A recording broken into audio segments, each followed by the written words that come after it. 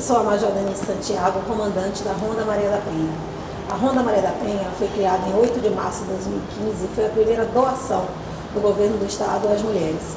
Ela saiu da articulação do Movimento de Mulheres do Estado da Bahia com a Secretaria de Políticas para Mulheres do nosso Estado também. A partir daí, nós concatenamos com o Tribunal de Justiça, Ministério Público, Defensoria Pública e a própria SSP para criar, através do termo de cooperação técnica, a Ronda para Homens.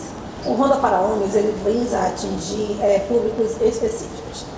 Tanto os, polici os policiais militares que atuam no enfrentamento à violência contra a mulher, como policiais militares que se envolveram em relações de agressão doméstica e familiar. Atuamos também com a sociedade civil, quer seja uma demanda espontânea, que são solicitadas pelos centros de referência ou associações e outras organizações, como aqueles agressores que estão respondendo o processo e são encaminhados pela vara de violência doméstica e familiar. A grande proposta do Ronda para Homens é uma ressignificação cultural dos nomes da sociedade. A ideia é que estes homens passem a olhar para o fenômeno da violência doméstica e familiar não como uma coisa comum, banal, que foi, é, durante as décadas, as gerações, propagada como normal, como se eles tivessem direito sobre a sua mulher.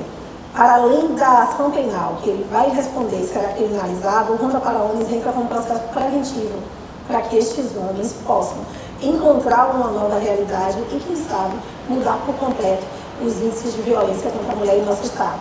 Atuamos com dois policiais militares, o sargento Dejaí e o cabo Cerqueira, que foram preparados para essa atividade, porque essa atividade é exclusivamente masculina. São homens técnicos da Ronda Maria da Penha que dialogam com estes homens neste processo de construir uma nova sociedade, construir um novo lugar. Coordenando tanto eu, enquanto comandante da operação, como nossa subcomandante, a capitã Paula. Que muito nós estejamos no mesmo ambiente com eles, somos proibidas de entrar no espaço, porque é um clube do bolinho. É um diálogo de homens com homens, para que homens percebam que é possível se coexistir com o gênero feminino, sem agredi-las, respeitando-as e criando, evidentemente, um Estado, uma sociedade muito melhor. É, como metodologia, adotamos um, um início é, lúdico através do vídeo A Conta, a da Corda, onde esses homens se deparam com as relações de gênero e podem discutir sobre isso, de como a gente como toda a sociedade, durante muito tempo, concebeu a figura do feminino.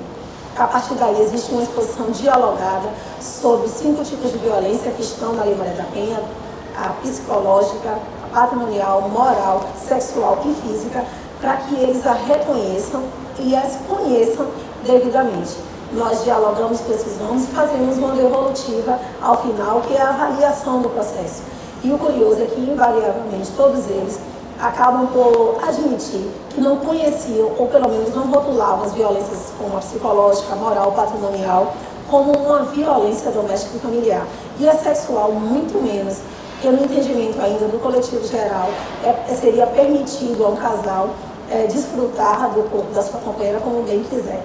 O que é que a gente traz com, com isso? O que a gente avalia como grande resultado, como aprendizagem do Ronda para Homens? São homens que estão se encontrando com uma realidade cultural que até então eles não declaravam como crime, não declaravam como erro e podem, acreditamos nós, modificar essas suas relações nos seus lares. Nós estaremos, estamos disponíveis para contatos e maiores esclarecimentos através do e-mail ronda.penha.pm.ba.gov.br.